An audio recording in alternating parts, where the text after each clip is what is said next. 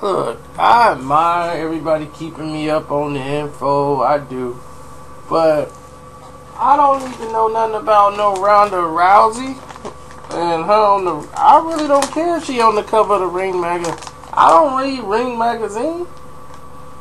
Who does that? You can get all the boxing news online. What, what I want to read about something that was three weeks ago.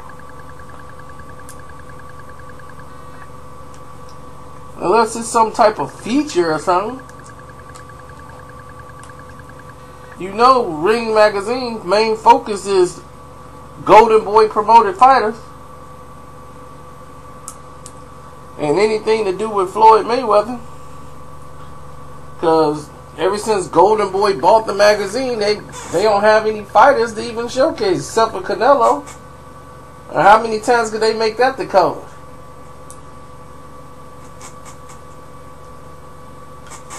And talking about could Ronda Rousey take over boxing? This chick can barely throw a punch. I mean, Vic Darchinyan beat her up. Imagine what Mayweather would do to her.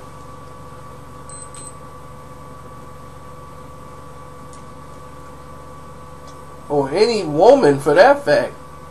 Holly Lawson would be this. It's a gang of women fighters that's eager to fight Ronda Rousey in a boxing ring.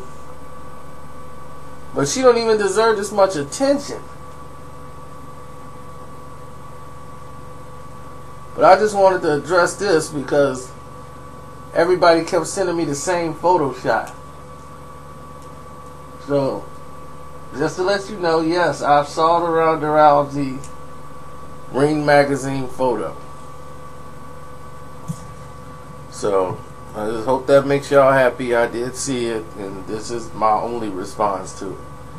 I don't read Ring Magazine. Like if they do something that I see on the cover that's interesting, maybe I'll grab it. But I think I bought one that had May- Mayweather and Pacquiao on it, and another one I had Ring Magazine had Felix Trinidad on it.